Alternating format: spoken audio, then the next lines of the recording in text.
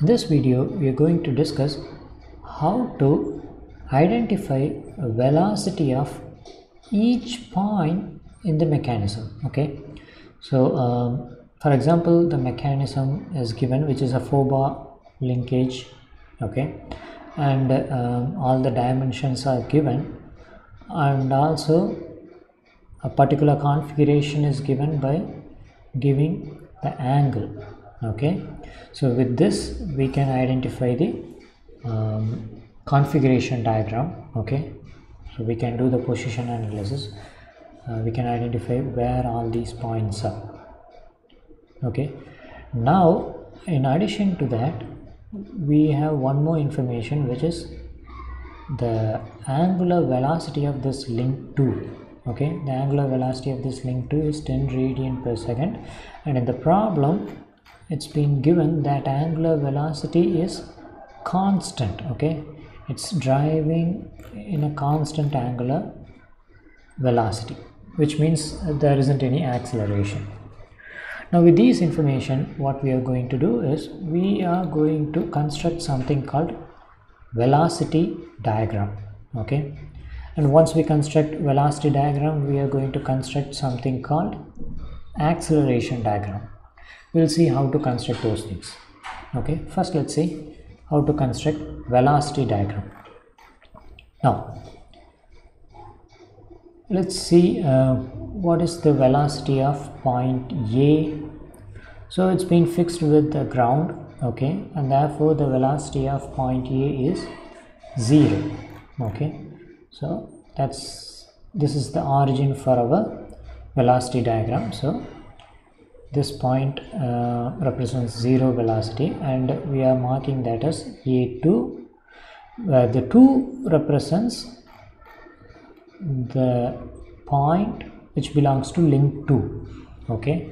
And you could argue that the point also belongs to link 1 okay? Yes we should also denote that as a1 okay so it's correct. And similarly if you notice the point D that is also fixed with ground okay? And that's a point common to link 1 as well as link 4 okay? Therefore we have to put D1 as well as D4 but if we put all those things it will be crowded and maybe for that reason here we it's been mentioned just A2 and D4 okay? Fine. Now let's see what is the velocity of point B. Okay. Here we have two points. B uh, belongs to link 2 as well as that B belongs to link 3 okay. So let's consider B2 okay.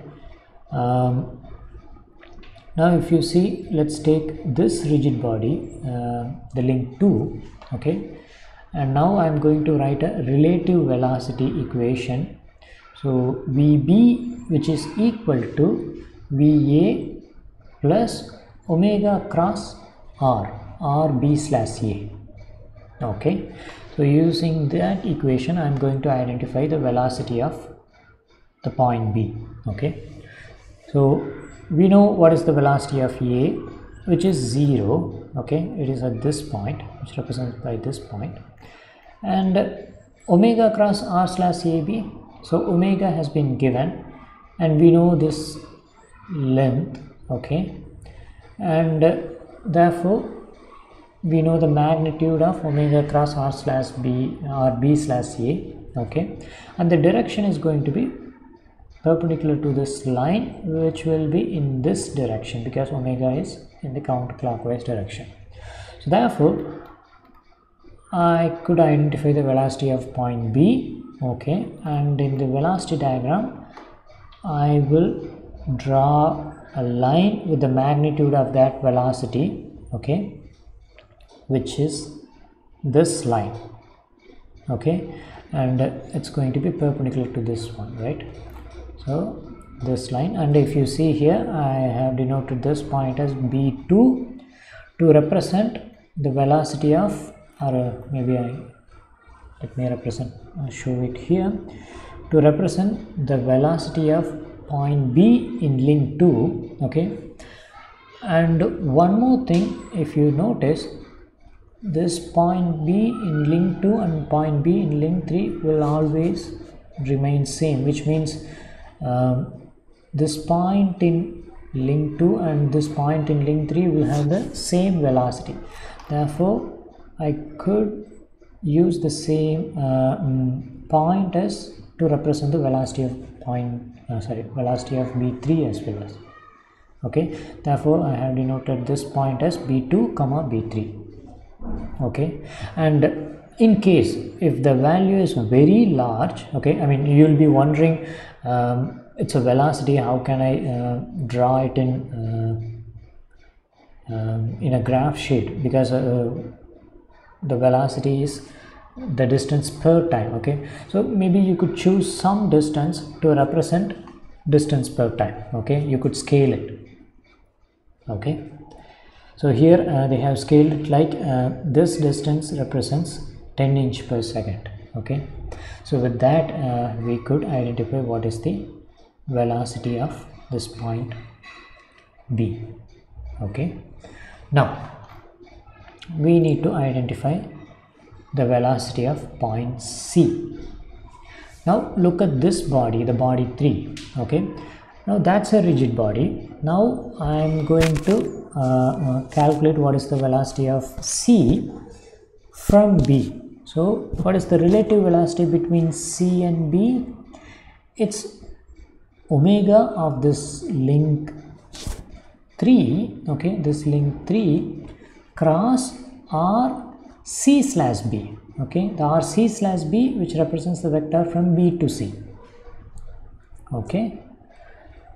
But I do not know the omega okay because this omega is the omega for link 2 not for link 3 okay that will be different okay. So I do not know omega but one thing I know which is the direction of that relative component okay? That relative component will be perpendicular to this line okay? So what will I do? I will draw a line perpendicular to this line which is this line. Sorry not, not that one which is this line okay? I'm just drawing a perpendicular to line to, to, to this line somewhere in this line I'm going to have my C3 okay. Now now let's look at this link 4 okay. So in the link 4 i'm going to consider the point c and point d. Okay.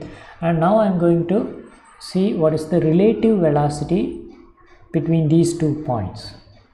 So the relative velocity will be omega of this link link 4 cross r c slash b. Okay? Because I'm going to uh, draw that vector from point D because I know the uh, velocity of point D. Okay? And do I know the omega of link 4 I do not know. Okay? But what do I know? I know the direction which is going to be perpendicular to uh, the, the velocity component relative velocity component is going to be perpendicular to this this link okay? So from this point I'm going to draw a line perpendicular to that link or this link okay? So which is going to be this line. When this line and this line meets which is at this point okay? And that point is the velocity of point C okay. And uh, here it's a hinge uh, kinematic pair. Therefore c3 and c4 are going to be same point. And uh, for that reason um, we are ident we are considering that uh, the point which intersects this line and this line is going to be c3 as well as c4 okay. Now if you see this length represents the velocity of uh, point B. This length represents the velocity of point C okay? And this length represents the velocity of point C with respect to point B in this rigid body okay?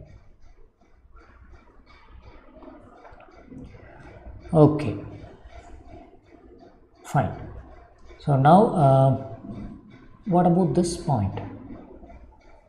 And this point is um, to identify the velocity of this point what I'm going to do is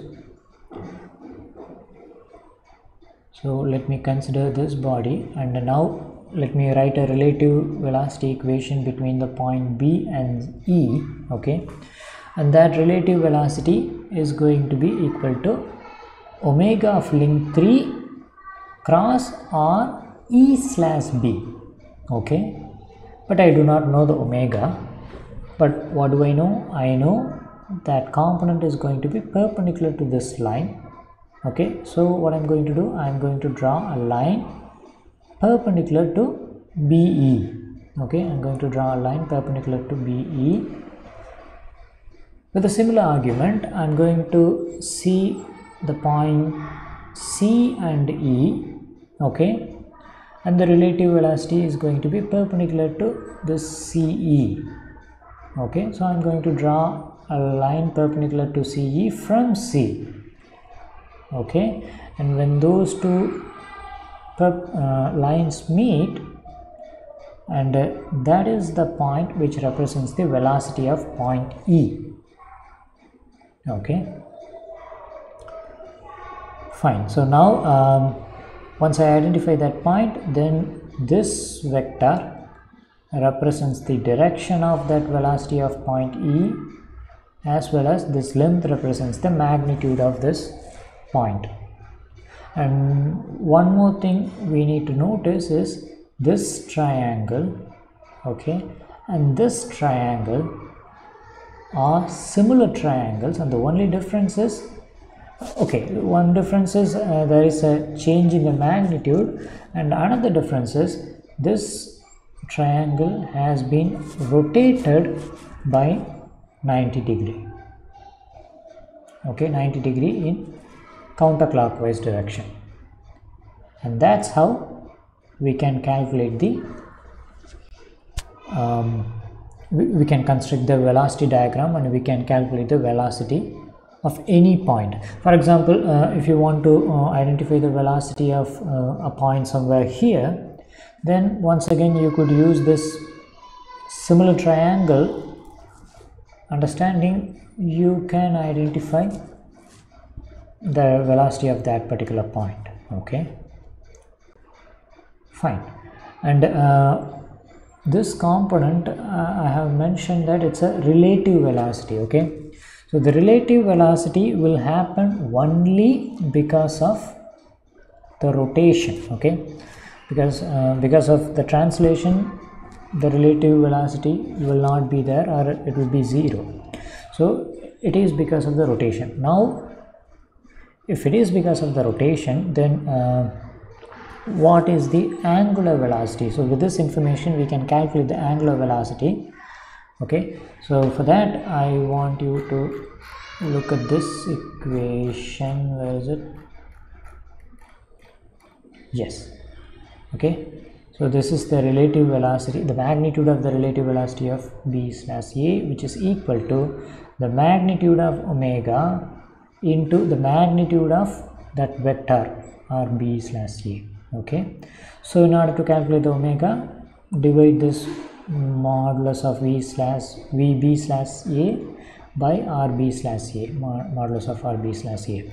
So which means in this uh, problem to calculate the omega of this link 3 okay we can calculate by calculating this v c3 slash p3 the just the magnitude okay divided by this length which is the magnitude of r c slash b. Okay that will provide me the uh, omega of this length 3 and with a similar argument I could also calculate the angular velocity of this link 4 as well.